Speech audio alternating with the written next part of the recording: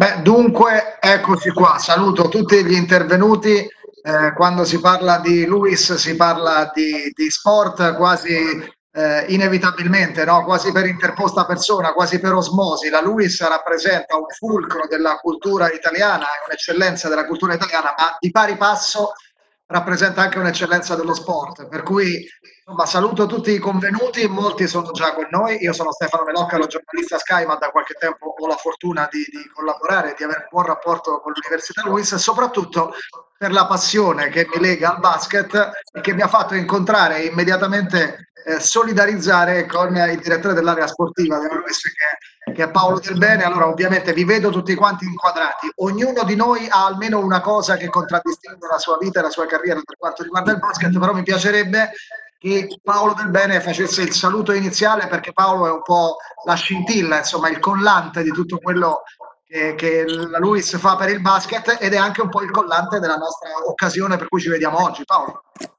Allora, grazie Stefano. Io porto naturalmente i saluti dell'università, di tutti i vertici, del presidente Abete dell'associazione sportiva, del direttore generale Gianni Rostorto, del rettore Andrea Principe, e, ma soprattutto di tutti i ragazzi che hanno partecipato in questi, in questi lunghi anni, perché è, è stata veramente una, una corsa eh, che è durata vent'anni, che eh, ha portato appunto la Luis, che da una squadra di basket eh, che insieme a Stefano Codano abbiamo portato nella, nella, nell'università, dalla, dalla, squadra di basket siamo arrivati a esattamente 19 gruppi sportivi con 14 sport, con 37 top atleti, come stavo raccontando a Raffaella prima di, di iniziare la, chiamiamo questo bellissimo evento.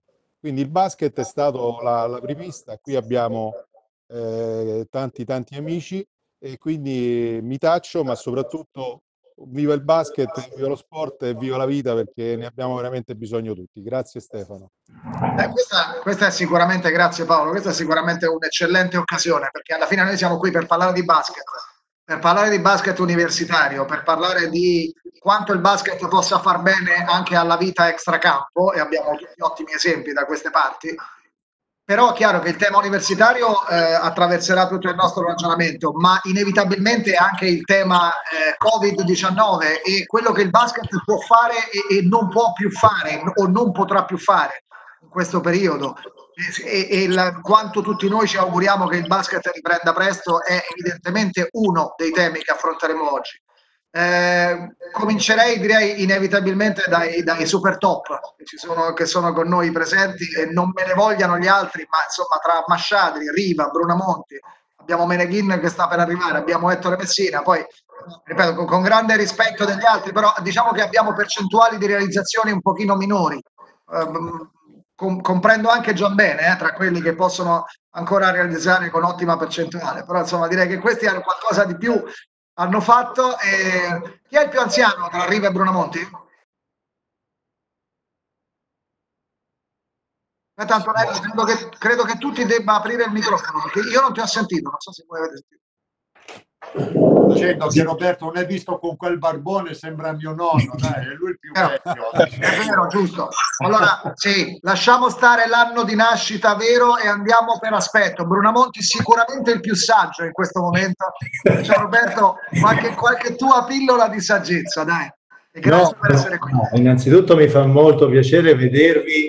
State tutti bene e questo è importante e poi poter partecipare così a un convegno fatto da, dalla Luis dove due dei miei figli si sono laureati, quindi conosco, conosco molto bene l'ambiente, eh, so di che cosa stiamo parlando, quindi mi fa molto piacere che dopo tanti anni la Luis sia riuscita da un punto di vista non solo ovviamente accademico, ma anche sportivo a raggiungere determinati livelli e credo che la lungimiranza di Paolo del bene e tutte le persone che lo hanno appoggiato ha portato a questi ottimi risultati. Ma è davvero Roberto un modello la Luis, no? Cioè, adesso è molto banale dirlo, ma quando noi pensiamo al modello americano, al basket NCAA e a, e a quanto diciamo, la, l'accesso al basket di alto livello passi in America per l'università, è chiaro che in Italia è difficile non, non pensare alla Luis.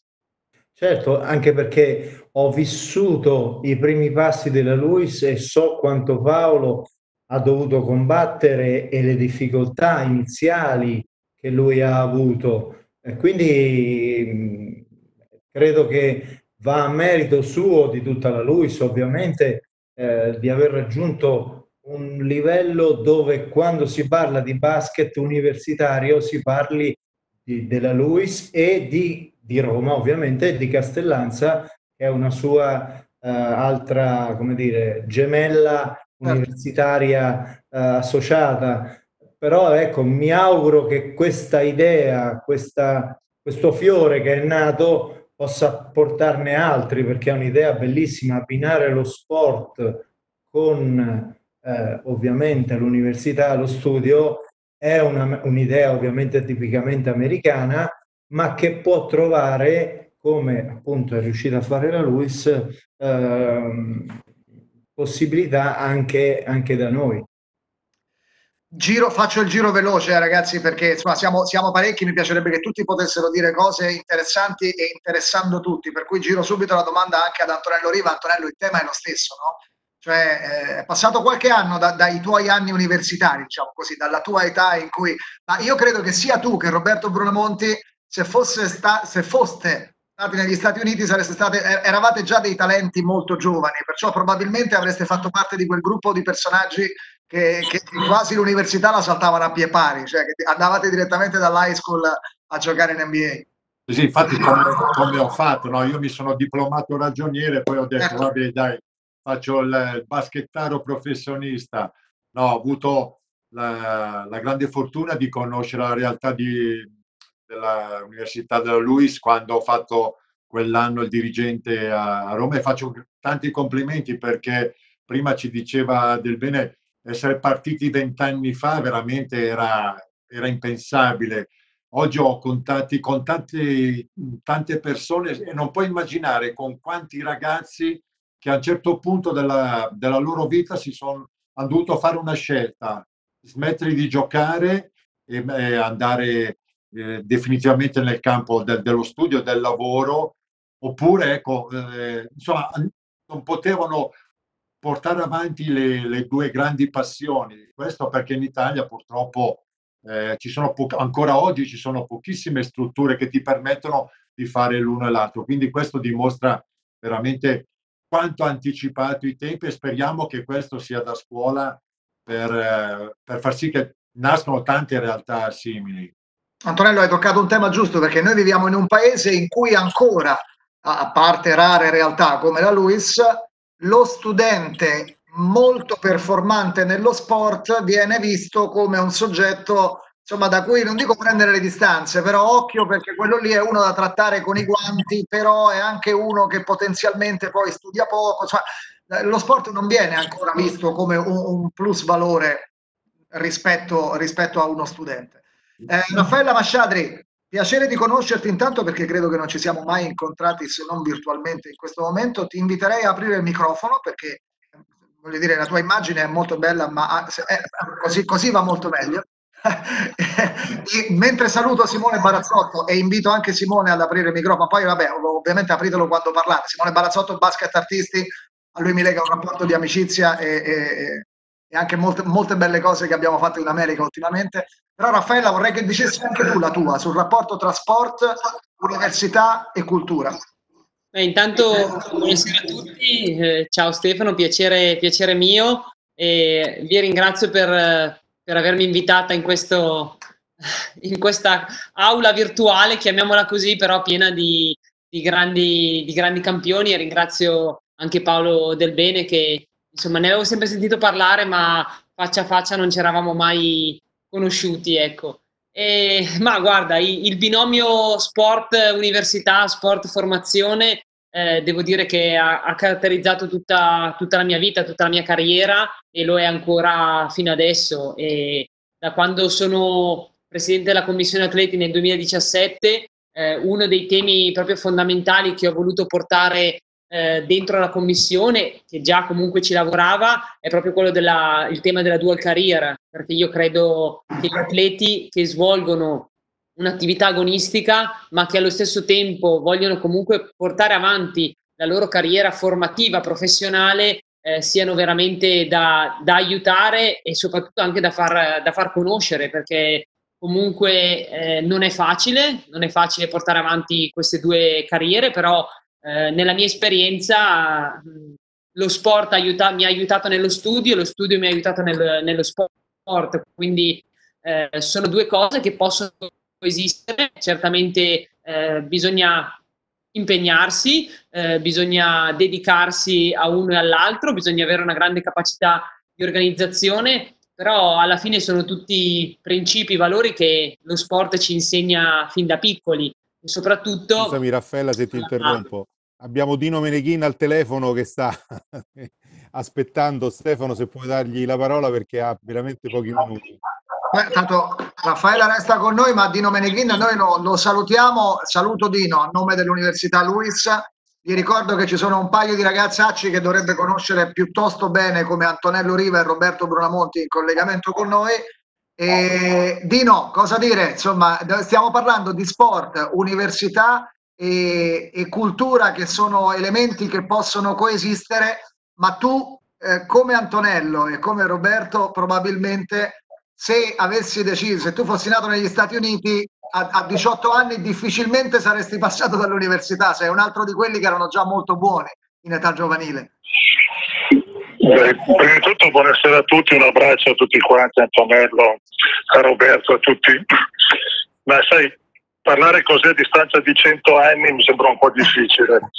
La, la, la, la realtà italiana e quella americana sembra proprio talmente distante che sembra di parlare della terra a Marte. Sicuramente l'esempio basilare è quello americano, dove, dove, la scuola ti insegna a vivere e ti permette anche di praticare lo sport, qualsiasi esso sia, e ti, ti forma anche da questo punto di vista. Eh, per quanto, per quanto, riguarda l'Italia, mi ricordo questa idea del, del, del basket nell'università, era un vecchio pallino di coach Valerio Bianchini, che si era battuto tantissimo proprio per creare un'organizzazione che potesse permettere ai giocatori e agli studenti di poter giocare e di poter fare le due cose insieme.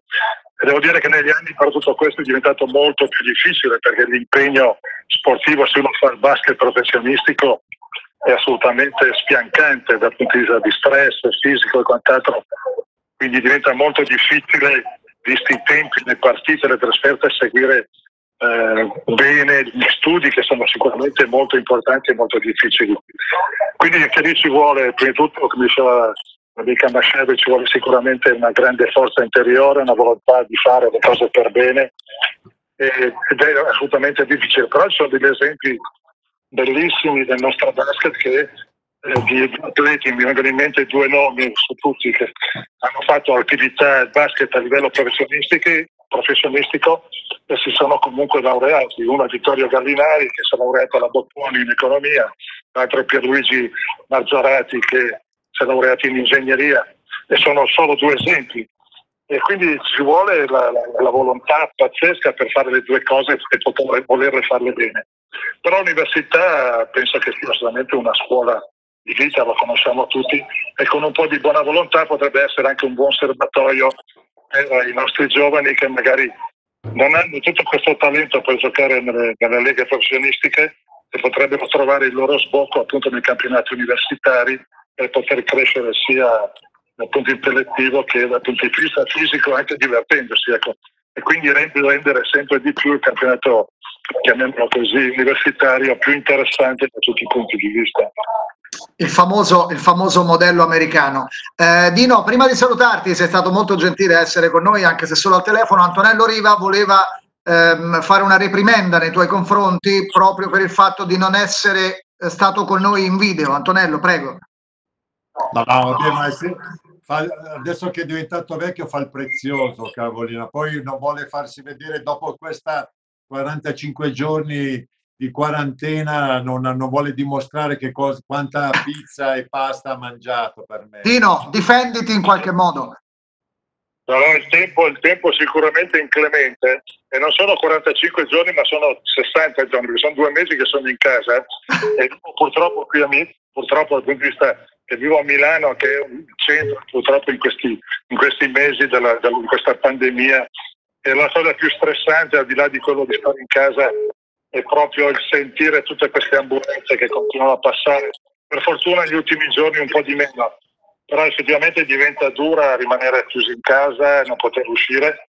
Però il buon umore non manca, si lotta, per fortuna c'è la moglie Caterina, c'è il cane, il gatto, perché c'è sempre qualcosa da fare.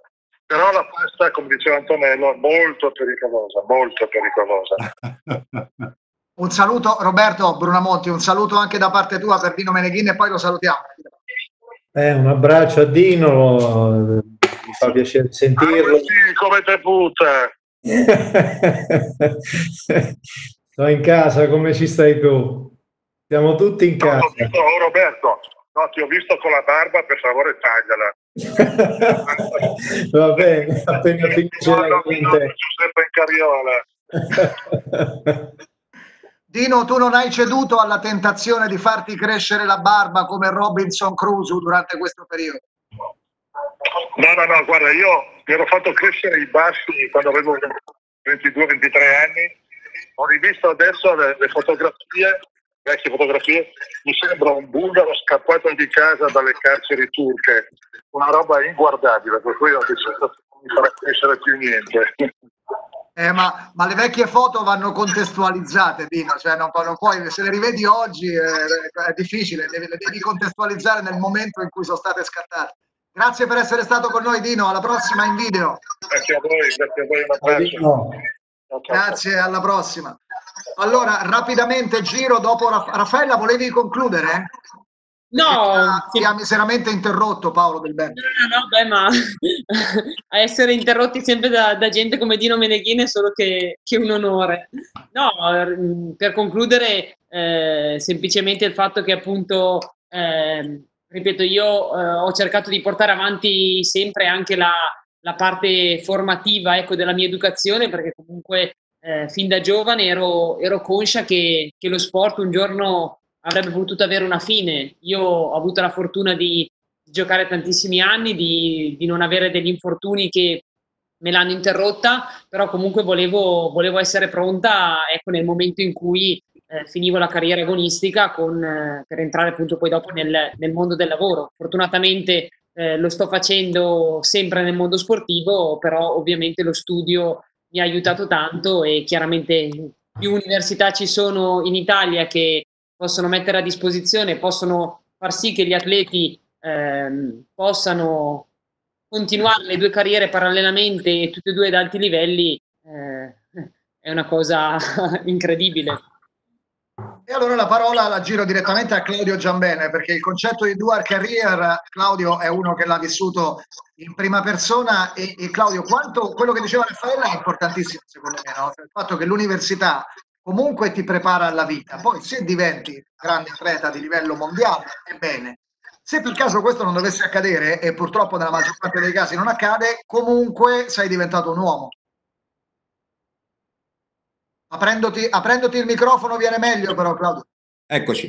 Ah, libro che, c'è un libro del calcio si chiama 999 e indica appunto i 999 che non ce la fanno solitamente. Io volevo dire un attimo che entrando qua mi sembra, in quest'aula mi sembrano i primi giorni Luis, quando entravo nelle aule sbagliate, perché qui vedo Roberto Brunamonti, Antonello, Riva, Antonello Riva Raffaella Masciadri, sembra essere entrato nell'aula sbagliata, quindi semplicemente questo.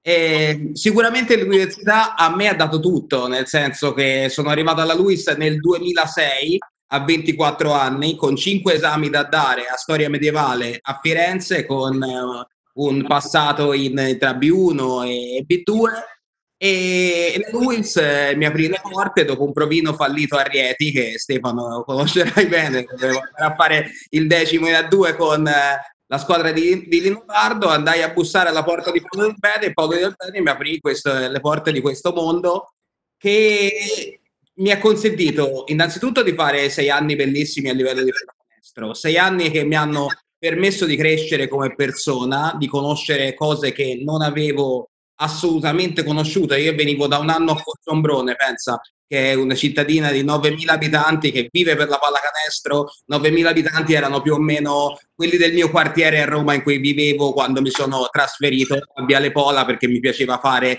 al, ai tempi casa e bottega perché la Luis era lì una volta e la mia casa era lì.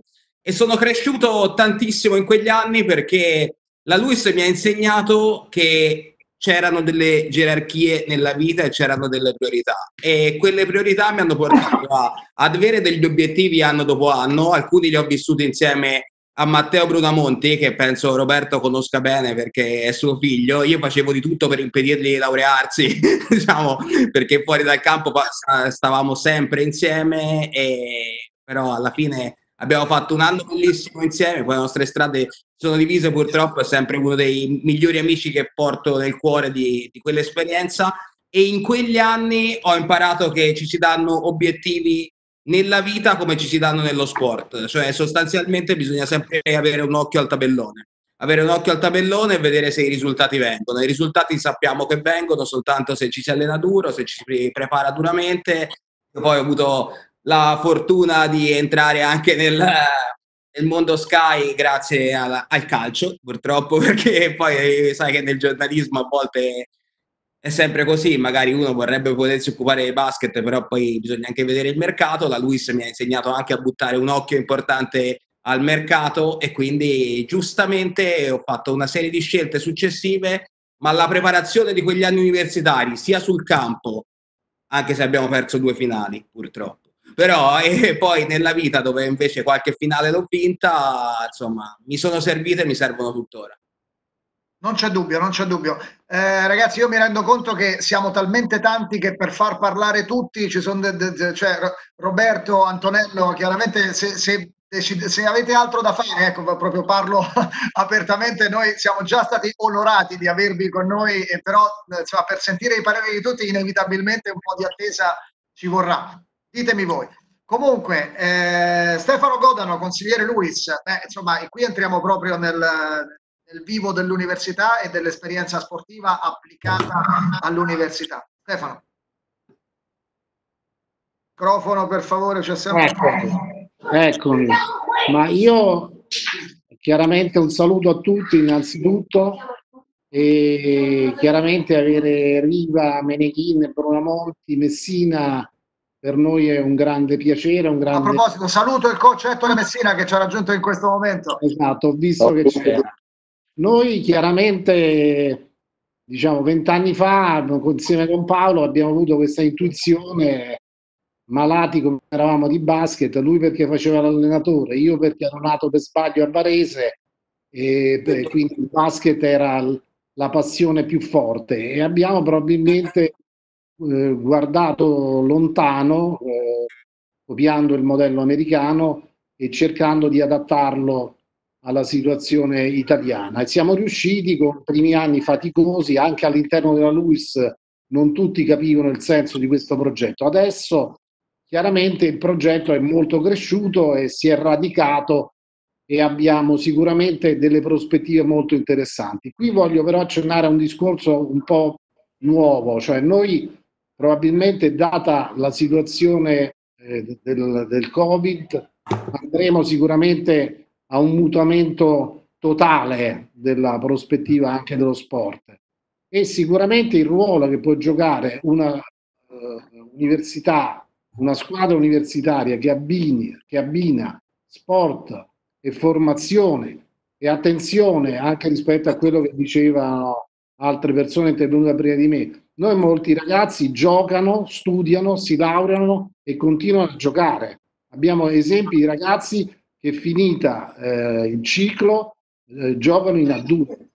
Quindi voglio dire, gli anni passati da noi, anche dal punto di vista proprio del basket, possono anche non indebolire. Alcune volte il ragazzo a 24, 25, 26 anni, dopo aver giocato molto e studiato, magari non ha più la voglia, ma tanti vo- vogliono continuare. Quindi in questo quadro sicuramente bisogna ragionare insieme con la FIP, insieme con le persone con la Lega, ma bisogna sicuramente ragionare e capire cosa può essere una prospettiva, perché voglio vedere quante squadre di Serie B il prossimo anno saranno in grado in tante città, Fossombrone, Bisceglie, c'è una grande passione, quindi parlo della Serie B, c'è una grande passione, molte persone partecipano, ma tante altre società sono situazioni, diciamo, precarie, moribonde. La Luis è una situazione invece forte, è una situazione, abbiamo adesso clamorosamente richieste, potremmo fare una squadra da due il prossimo anno, abbiamo richieste dappertutto perché chiaramente nella Luis vedono una prospettiva e una possibilità concreta di abbinare le due cose. La cosa importante chiaramente sarebbe fare con tutti i, i ragionamenti possibili quel salto di qualità reale che apra alle, ad altre università. Un campionato universitario, una Serie B tutta proiettata sul giovane dove ci sono 4-5 squadre universitarie.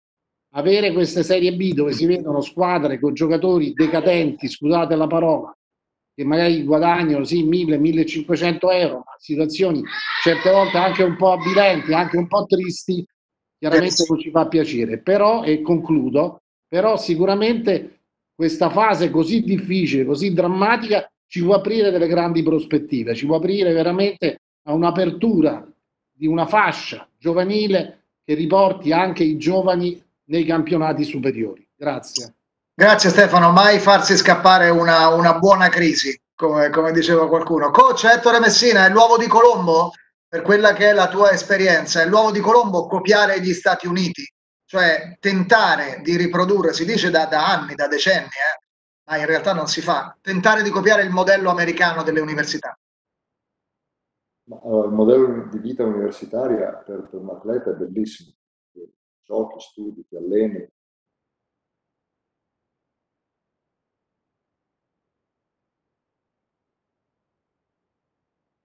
Luis è un, dire, è un caso bellissimo e purtroppo, purtroppo, isolato. Io penso che uh, prima di tutto bisognerebbe cominciare, se avessimo la fortuna, di cominciare un po' più alle basi. Cioè, faccio fatica sinceramente a pensare al vertice, cioè cosa succede nelle strutture universitarie quando nelle nostre scuole medie e medie superiori si fatica a fare due ore di educazione fisica durante la settimana. Ecco, questo uh, non dimentichiamoci che gli Stati Uniti hanno un bellissimo sistema dove l'NCAA è il, uh, diciamo, la punta dell'iceberg, ma dietro ci sono centinaia e migliaia di scuole eh, che anche le più sfortunate hanno tutta una bella palestra e dove si gioca, dove si va moltissimo sport.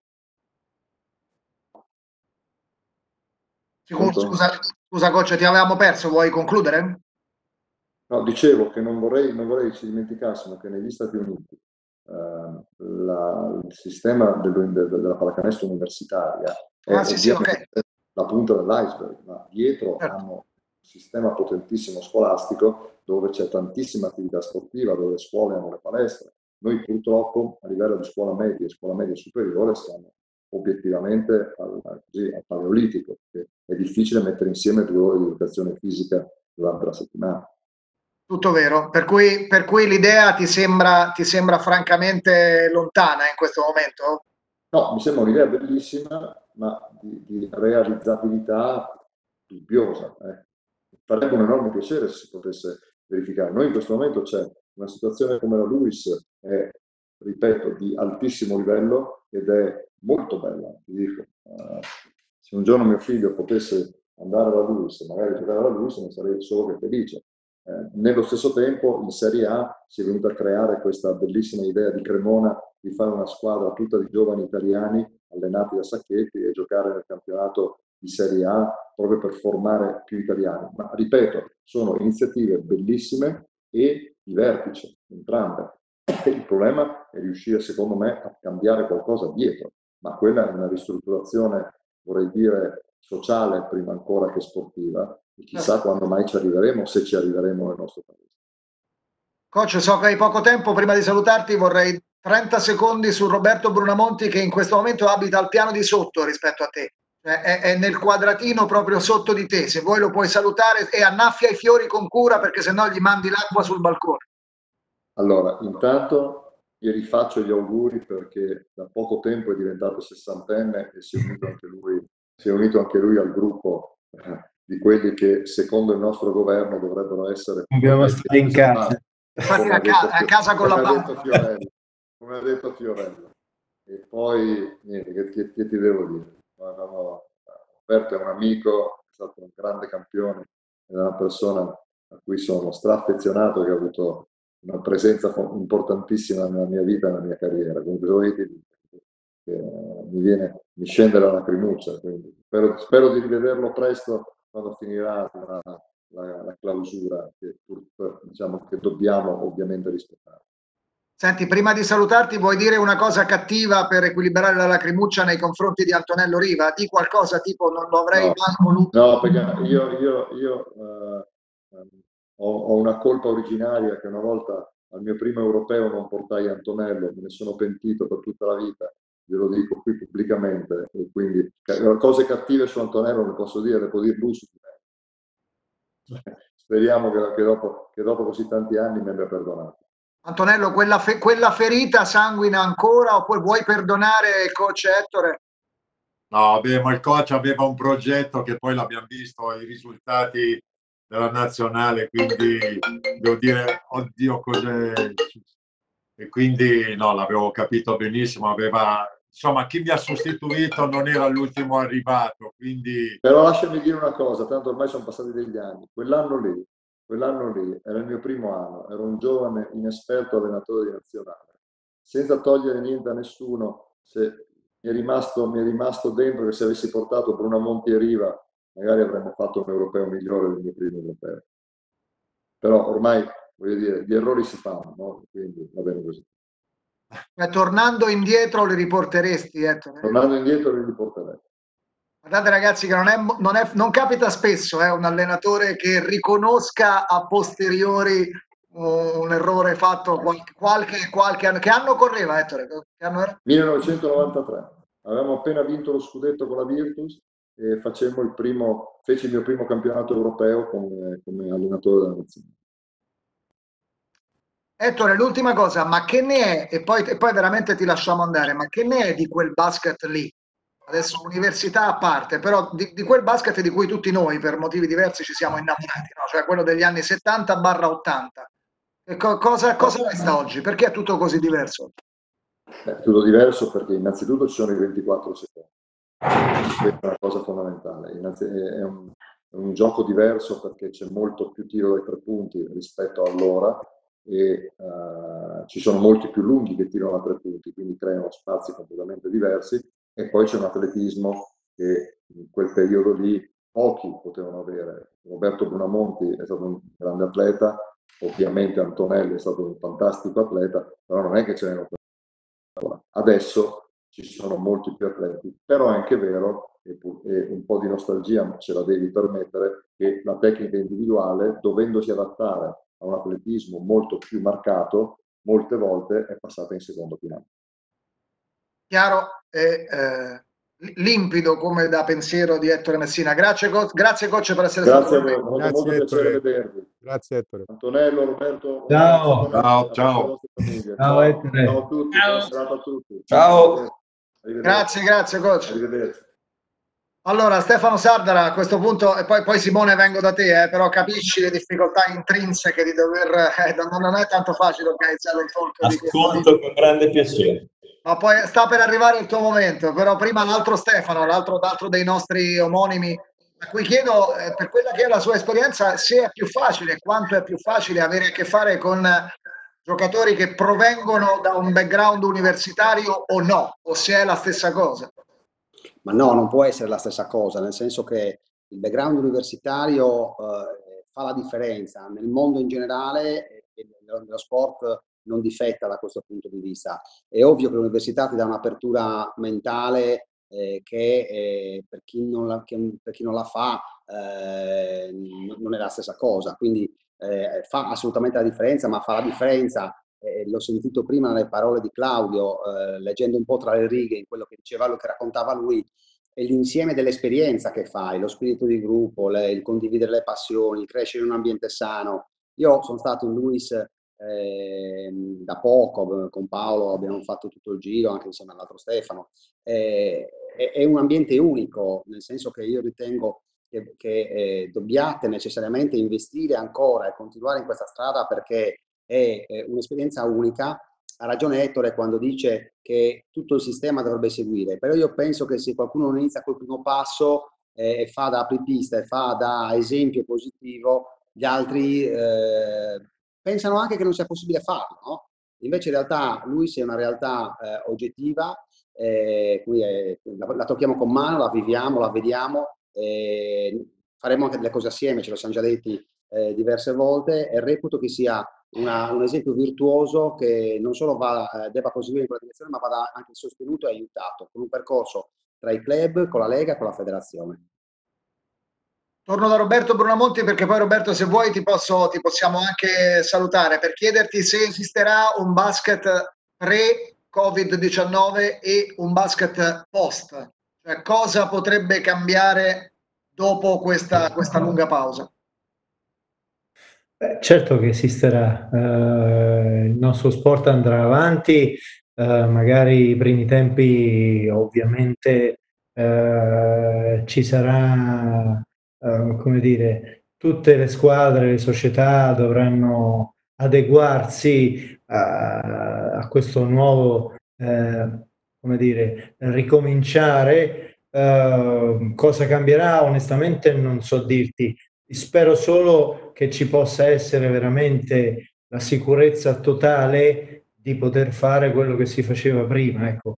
Mm, quando si dice eh, l'importante è, anche, è, la salute, in questo momento la salute credo sia eh, fondamentale, ma la voglia di ritornare a giocare, di ritornare a fare un campionato, come dire, di esaltarsi nello stesso tempo magari anche di discutere eh, è tanta eh, che sia a livello maggiore, ma anche e soprattutto a livello come dire, di squadre eh, non professionistiche, il nostro, il nostro movimento ha, ha, una voglia pazza di, di, di, di ricominciare. Quindi eh, io sono convinto che si ricomincerà, però con il massimo della sicurezza per gli atleti, per gli allenatori, per gli arbitri, per, insomma per tutti gli addetti ai lavori e con eh, il pubblico che avrà ancora di più voglia di vedere partite di basket. Auguriamoci molto, ma molto presto. Grazie Roberto, perdonaci, eh, ti avevo chiesto 5 minuti, sono diventati, no, no, diventati 40. Ho visto, ho Però... visto persone a cui voglio bene e stimo, quindi mi fa molto piacere. E no, poi soprattutto, diciamocelo, sei agli arresti domiciliari come tutti, ma che cosa sì. mai avrai da fare? Cioè, no, no, al, al, massimo, cosa fai adesso? Cucini due uova al tegamino? Cosa fai? no, no, non, diciamo che avendo un pezzetto di giardino, ah. eh, diciamo, ho, ho, anche un piccolo sfogo Uh, come dire, posso dire, ecco, non sono agli arresti proprio domiciliari. che non è poco, che non è poco, sei arresti domiciliari di elezione. Grazie Roberto per essere Ciao, stato con noi. Ciao. Antonello Riva, stesso ragionamento. Tu come fai, mant- come fai, a mantenere questa forma smagliante senza fare le tue passeggiate sui monti a 3000 eh, metri? No, devo dirti che a, a, a, oggi mi mancano un pochino eh. a dire questo, anche se ho il giardino, quindi mi sono dilettato il giardinaggio come ha fatto Roberto, però mi mancano le passeggiate. Adesso da buon compagno di squadra esco dallo spogliatoio con Roberto e eh con queste dichiarazioni dietro Messina mi fate passare una serata particolare. Eh? Quindi... che no, scoop, che scoop. Pensate che quell'anno, quando lui rinnovò la squadra, entravano in squadra tipi come Carton Myers, come Alessandro Abio, come Meneghin, quindi voglio dire, eh, era anche capibile questo rinnovamento. Quindi grazie di avermi avuto eh, ospite e di avermi regalato una chicca del genere, che Ettore non mai mi aveva accennato di questa cosa. No, abbiamo tirato fuori la notizia che è da ultima ora Sky Sport 24. Cioè, Ettore eh. Messina, due punti. Se tornassi indietro porterei Riva e Brunamont. Cioè, è una notizia. Tanta roba, è tanta roba questa. Ma veramente, grazie a Antonello per essere stato con noi. Grazie a voi, grazie a voi. Grazie Roberto che sta ancora cercando il modo secondo me per schiacciare exit dalla riunione, non ce la fa. Però, vabbè, ma potete... Hai capito? Come fa? Capito? Che ti vedo, ti vedo con sguardo interrogativo, cioè guardare, guardare il monitor con un gigantesco punto esatto, interrogativo esatto. davanti. Esatto. Cioè, come posso fare per svignarmela senza dare nell'occhio? No, esatto, non volevo disturbare. Noi ti vogliamo bene, qui la superiorità di Riva che invece proprio, vedi, in un istante non c'è più, è proprio scomparso. Simone Barazzotto, quando ricominciamo a fare le nostre belle cose con, eh, con basket artisti, speriamo presto, e scusa per la pausa, eh, ma capi- puoi comprendere. Eh beh, no, cominceremo presto e cominceremo da, ce lo siamo detti l'altra settimana, da Sassari per festeggiare i 60 anni di Sassari e i 20 anni della nazionale basket. Assolutamente. Ce lo siamo detti. Sai, io stavo riflettendo perché avete seguito tante, tante bellissime cose. Eh, mi piace sottolineare il discorso che ha fatto Messina sul fatto, e noi ce ne rendiamo conto, no? avendo girato da vent'anni d'Italia, che, eh, il, che Luis ha un progetto bellissimo ed è dico purtroppo un po' unico, nel senso che poi noi andiamo tante volte a giocare in alcune palestre, andiamo a giocare in, alcuni, in alcune città dove vedi le palestre in situazioni disastrate, ci dicono sì, questa è la palestra della scuola media, questa è la palestra della scuola superiore e sono veramente in condizioni disastrate. Quindi eh, io mi auguro che un progetto come quello della LUIS sia supportato quando finirà tutto questo, questo grande caos dove siamo entrati da un progetto eh, del nostro governo e del nostro ministro Spadafora che dica benissimo, adesso mettiamo a posto anche le palestre, mettiamo a posto, facciamo giocare i ragazzini in condizioni. Io so che Raffaella, per esempio, si batte moltissimo per, per queste cause. Ma Raffaella, e... perché come, mai, come si spiega che non l'hai ancora convocata?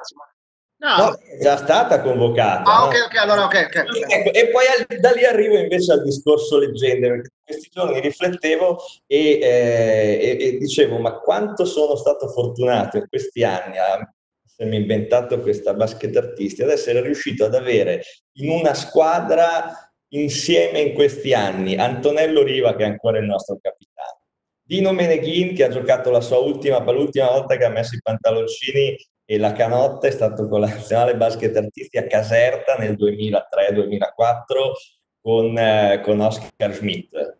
Abbiamo fatto giocare con noi Oscar Schmidt, abbiamo avuto Roberto Brunamonti, non ha giocato però è venuto più volte con noi. Eh, Ettore Messina l'abbiamo incontrato negli Stati Uniti ed è entrato anche lui a far parte di questo sodalizio e ha fatto con noi una bellissima casa negli Stati Uniti.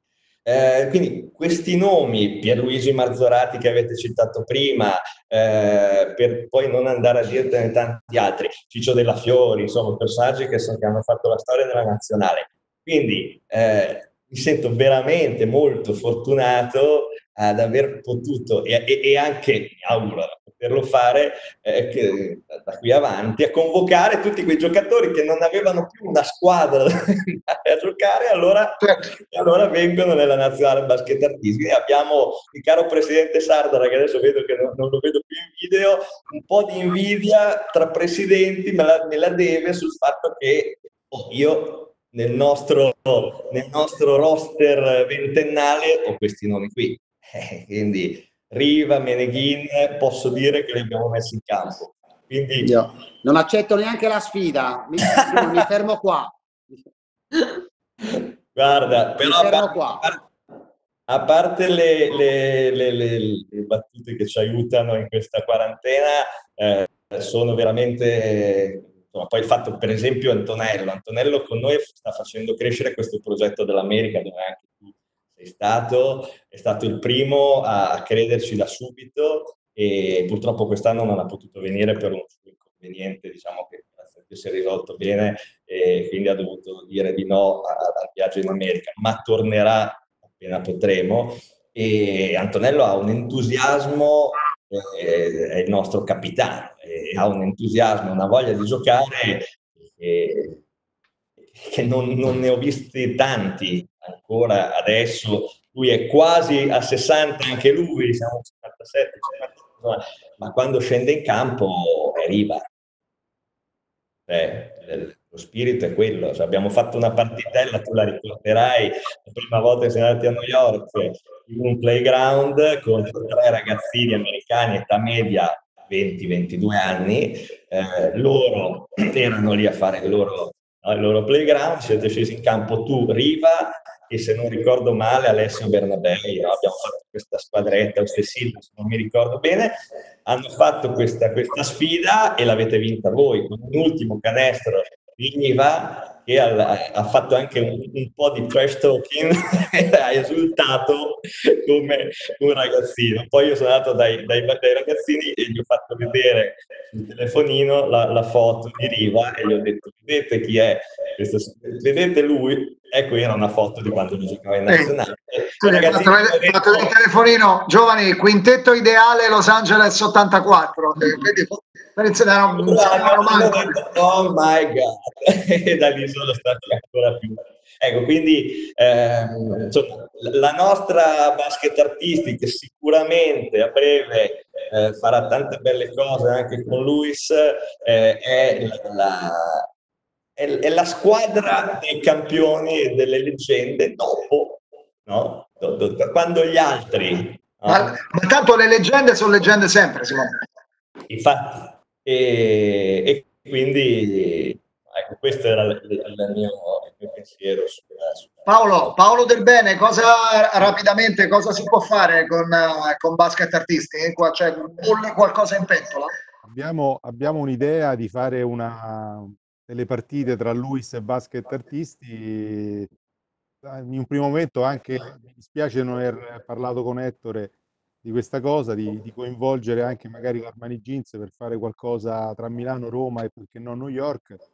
Eh, ne parlavamo proprio questa mattina con Stefano Godano, eh, quindi io credo che, che, sia importante, ma permettetevi di eh, salutare con affetto il professor Roberto Pessi, che oggi è il, è il suo compleanno ed è l'ideatore di Lui Sport Academy, che dopo 18 anni ha dato un impulso fantastico alla dual career dei top atleti, perché grazie alla sua intuizione anche è il, il, completamento di tutto questo disegno che è iniziato vent'anni fa. Quindi io ringrazio veramente tanto, con Raffaella magari poi ci scambieremo privatamente anche i cellulari, che così ci...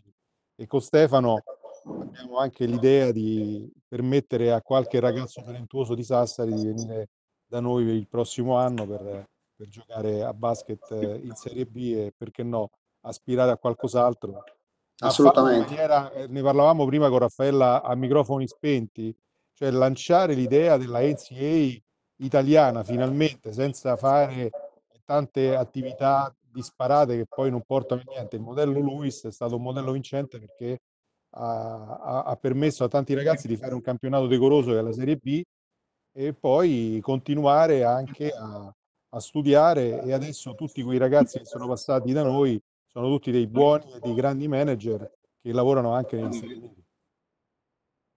Stefano Sardara, per salutarti, è l'uovo di Colombo, nel senso tentare di copiare quello che dicevo prima, no?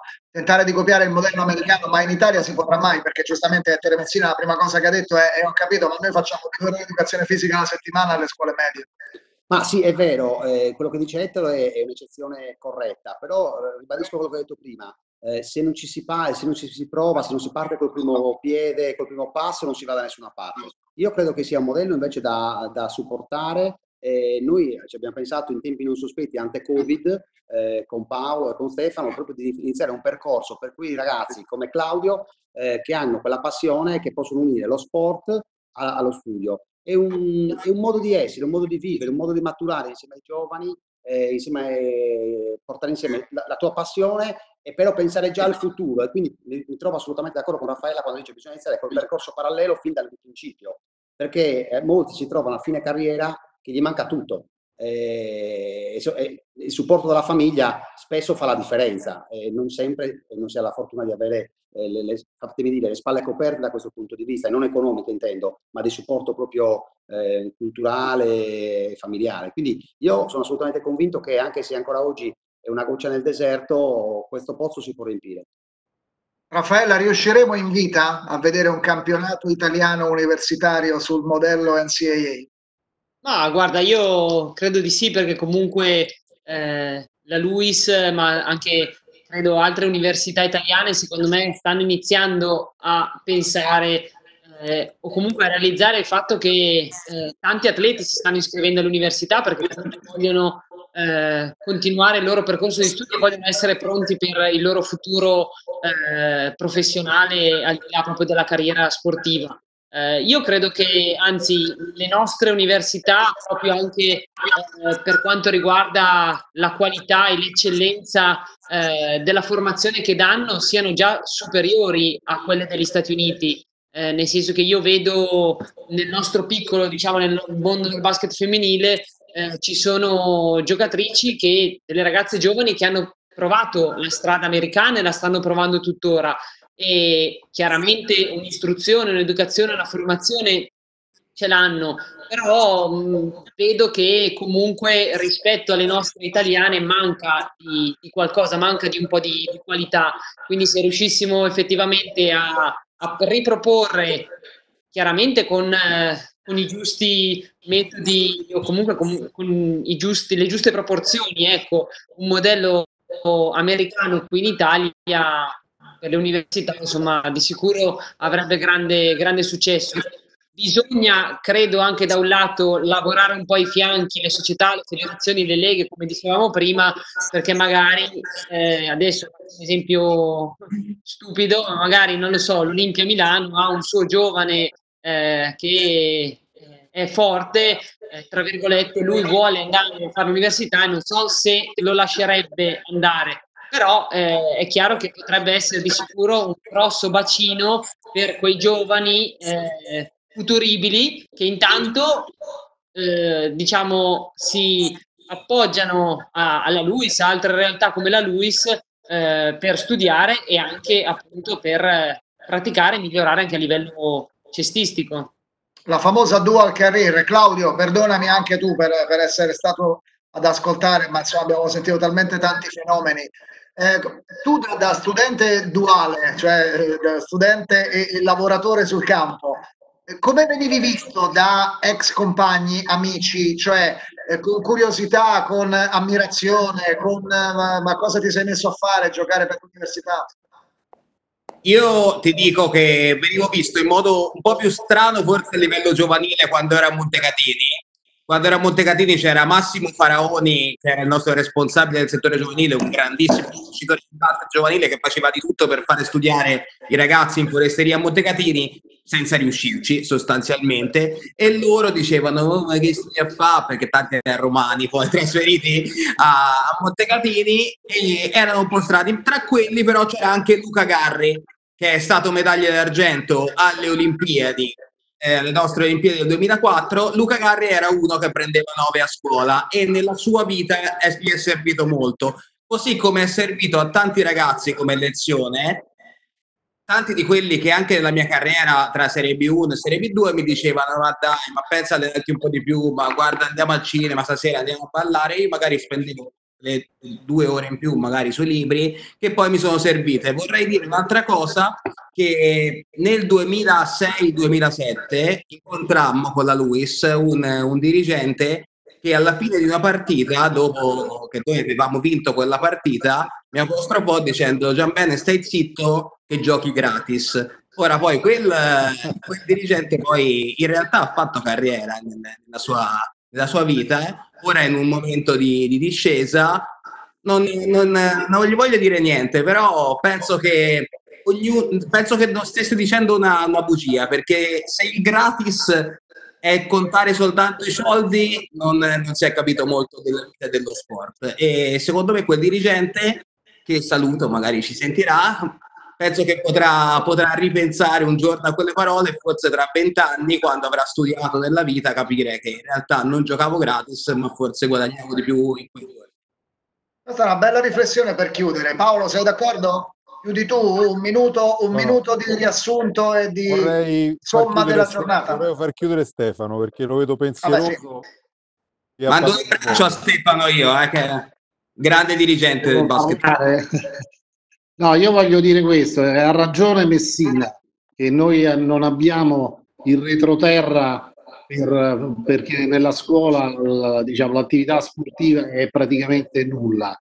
Quindi le difficoltà che la mancanza di questo retroterra sicuramente è giusto il ragionamento di Messina, però è anche vero che in Italia non cresce un settore giovanile, un lavoro sui settori giovanili va completamente rivisto e revisionato. Il ruolo che ha la Serie B, così come adesso, va completamente rivisto e sicuramente, non voglio dire come ha battuto Stefano, che eh, diciamo, la pandemia contribuirà a questa rivoluzione, ma sicuramente contribuirà a una modifica totale di com'è il basket e l'integrazione tra il basket universitario e il basket giovanile, perché quella può essere la strada, è sicuramente la, la via su cui ci, ci, andremo. Quante società potranno in Serie B continuare a fare questi piccoli campionati senza soldi, senza sponsor? Dove si trovano più gli sponsor che sostengono questa situazione? Bisognerà ripuntare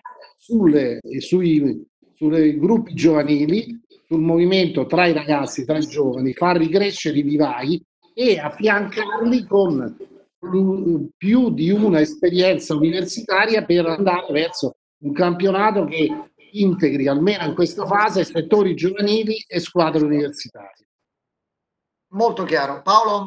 Sì, io penso che alla fine eh, dobbiamo prevedere che presidenti illuminati come Stefano Sardara, che io ho conosciuto in questi mesi lo, lo, lo, stimavo prima perché le cose grandi che ha fatto a Sassari, anche dai racconti di amici, ma anche come con Pozzecco abbiamo fatto questi siparietti, siamo stati anche a cena a, a Roma quando abbiamo invitato sia lui che il Poz eh, Università. Credo che gente come lui deve, deve poi eh, cavalcare il cambiamento. Deve, eh, dobbiamo costringere il grande eh, capo Siux eh, Gianni Petrucci a, a, a sentire questa, questo vento nuovo che sta cambiando. Il basket deve modificare i criteri dei parametri. Cioè, noi un campione di basket costa ancora tantissimo. Io eh, facevamo i conti l'altra sera, sono 90.000 euro di tasse universitarie, di tasse eh, per trasferte e soprattutto solamente per FIP, quindi per, eh, per pagare le tasse delle gare e questo non è possibile. Credo che sia corretto finanziare il sistema, ma il sistema non può continuare a esistere in un contributo così eccessivo e poi soprattutto bisogna inventarsi de, de, de, delle, delle, cose che sia veramente il punto eh, di svolta. Se quei soldi vanno a finire non solamente a pagare i, i settori giovanili, ma a ripagare anche magari un, un tra virgolette una, una, eh, una fee per pagare le tasse delle università ai ragazzi che fanno parte del, eh, del settore giovanile, cioè inventarsi un modello che sia sostenibile. Eh, io non dico che non sia corretto, ma dico che possiamo fare altro. Cioè, ste, Simone che...